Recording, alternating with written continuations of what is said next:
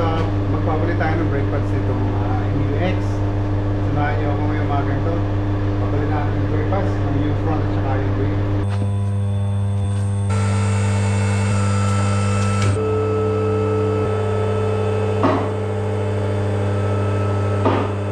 Una natin gagawin mga kasama ay babalutan natin ng basahan itong ah, fluid reservoir para hindi siya tumulo at magkalat kasi ang brake fluid ay kalaban ng pintura. So ingatan natin ang pintura natin. Sunod natin tatanggalin ay gulong. Itong cap. Gagamit tayo ng 19mm socket, wheel nut socket.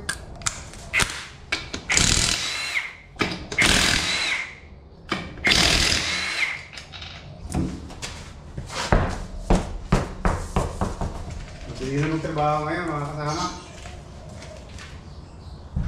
Hindi na ako paluhod-luhod. So mga kasama, ito yung brake system. Kahit na anong model, pare-parehas lang sila. So ito yung rotor, ito yung hub, dust cover, ito yung dust cover ng hub. Ito naman yung kanyang caliper, ito itong buong to. Itong makikita sa baba, itong ah, metal na ito ay yung kanyang brackets which is uh, dito nag-slide yung bolt ng caliper sa bracket. Tanggalin na natin. Susungkitin lang natin yung pads dito sa ventilation nito para bumalik yung piston sa loob ng caliper. Gagamit tayo ng 12mm na socket, box wrench. Maluwag na agad. Tanggalin natin yung bolt which is ito. Pagkatapos ay slide natin ito. Ayun lang. Ganun lang kabilis. Lagyan natin sa taas, secure na hindi siya babagsak. Yan. Tapos tanggalin natin yung pads.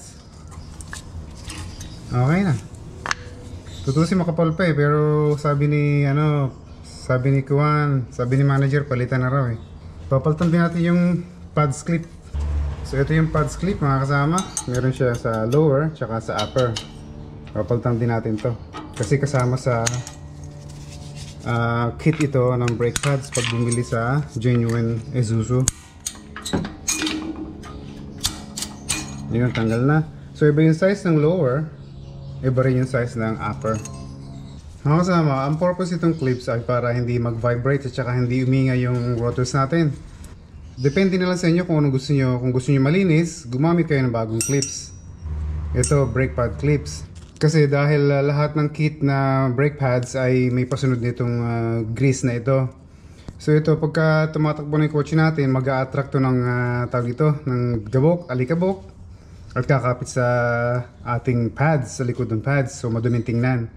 Ako ang ginagawa ko, bagong clips na lang instead na ito. Lagyan natin siya. Ito yung lower. Madali lang. Clip ng clip lang. Clip type lang. Ayan, oh, nandun na. Ito naman yung sa upper. Mm, Nandun na. Yung brake pads mga kasama ay magkaiba. So yung sa labas, ito yung outer, dito ay walang sensor. Ito kasi kapag ka worn out na siya, itong metal na ito ay magra-rub dito sa rotor. Pag nag-rub siya sa rotor, maririnig nyo na talagang annoying. So ibig sabihin, ma- mababa na yung thickness ng iyong brake pads. So lagyan na natin isa-isa. Nahin natin ito.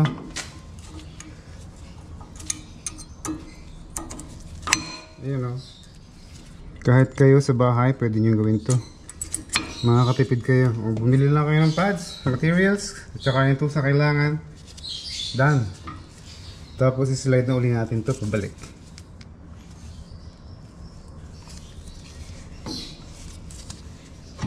Ayun. Make sure na nakaklip yung rubber boot.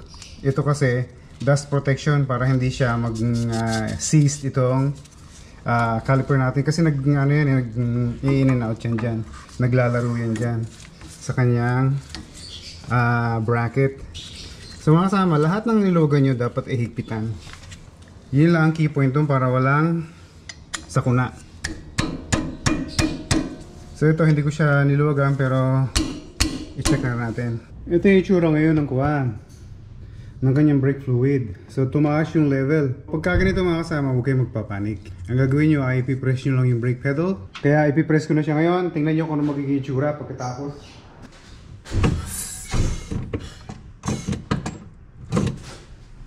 Nakanya mga kasama, bumaba na konti. Ngayon, itong level na to ay mataas pa rin. So, paano nyo siya i ah, pabababain? So, simple lang. So, clean cloth. So, ang kailangan natin ngayon ay clean cloth. Ito, kagaya nito, malinis ito. Nakita nyo mga kasama. So, iwasan natin siya mag-drip sa pintura dahil kalaban ng pintura itong brake fluid. Brake fluid is not good for your paint. You should have to be careful. Ayun mga kasama oh. Nasa maximum level na yung brake fluid ng level natin. Ito, dito. So ganun lang kasimple ang gagawin natin mga kasama. Para tayo ay makatipid at na hindi na tayo babayad sa mekaniko. Mahal din kaya ang ah, labor. So mga kasama, tapos na tayo. Napakasimple lang. Kayang-kayang gawin sa bahay para kayo ay makatipid. Kagaya na ginagawa ko. Ganon din. Kaya nyo rin gawin. Sundan nyo lang yung mga videos na mayroong kayong makikita sa online, sa YouTube. Kagaya itong video yung ginawa ko, kagaya ngayon. Ito yung video yung kagagawa ko lang. So hanggang sa muli mga kasama, maraming salamat sa inyo lahat. Ah, kay ah, Zandy. Zandy Morong, may kopya ako rito eh. Kay Zandy Morong at saka kay Arpopoy Mechanic. Shoutout sa inyong dalawa. At sa lahat ng aking mga subscribers. See you next time. Maraming maraming salamat.